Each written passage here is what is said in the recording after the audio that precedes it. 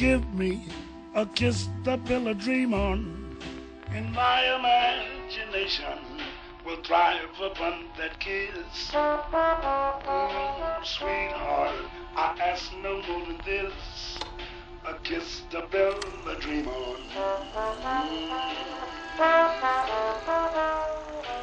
Give me a kiss before you leave me, and my imagination will feed my hungry heart. Mm, leave me one thing before we part. A kiss to build a dream on. When I'm alone with my fancies, I'll be with you, weaving romances, making believe they're true. Oh, give me your lips for just a moment, and my imagination will make that moment live. Mm, give me what you alone can give, a kiss to build a dream on.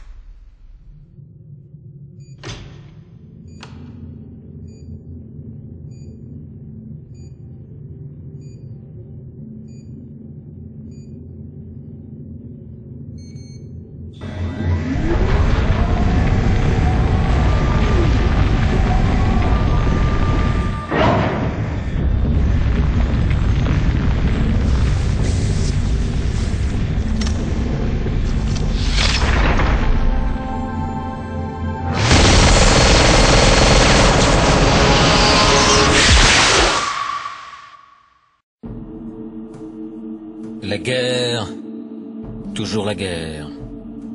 La fin du monde s'est déroulée plus ou moins comme nous l'avions prévu. Trop de monde. Pas assez d'espace ni de ressources. Les détails sont triviaux et inutiles. Les causes, elles, sont comme toujours purement humaines. La Terre fut presque entièrement balayée de toute vie. Un grand nettoyage. Une étincelle atomique allumée par la main de l'homme prit rapidement des proportions incontrôlables. Il pleuvait des lances de feu nucléaires. Les continents furent engloutis par les flammes sous des océans en ébullition. L'humanité avait presque disparu. Son spectre venait hanter la couche de radiation qui enveloppait la Terre. Des ténèbres silencieuses allaient s'abattre sur la planète pour de longues années. Très peu survécurent au désastre. Certains eurent plus de chance que d'autres et parvinrent à se réfugier dans d'immenses abris souterrains. Quand l'obscurité totale fut passée, ces abris s'ouvrirent, libérant ainsi leurs habitants qui allaient devoir reconstruire leur vie. Une tribu du Nord revendique son origine d'un de ces abris. Ces gens racontent que leur fondateur et ancêtre, connu sous le nom d'habitants de l'abri, a autrefois sauvé le monde d'un grand mal. Leur légende raconte que ce mal naquit dans le sud lointain.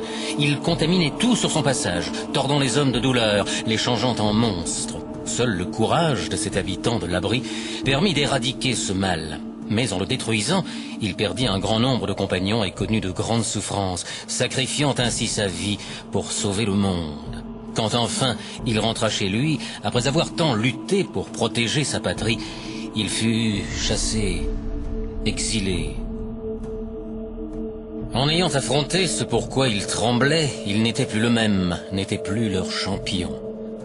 Abandonné par son peuple, il erra dans le désert. Il s'aventura loin au nord, jusqu'à la région des Grands Canyons. Là, il fonda un petit village, Arroyo, où il vécut ses derniers jours. Et c'est ainsi que le temps d'une génération après sa création, Arroyo vécut en paix, protégé par ces canyons du reste du monde. C'est de là que tu viens, c'est chez toi. Mais les blessures laissées par la guerre n'ont pas encore cicatrisé, et la terre n'a pas oublié.